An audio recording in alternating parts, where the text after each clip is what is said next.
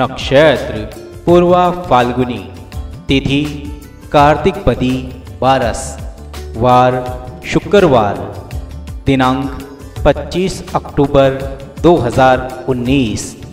विशेष गोवत्स द्वादशी और प्रदोष व्रत तथा धनतेरस धन्वंतरी जयंती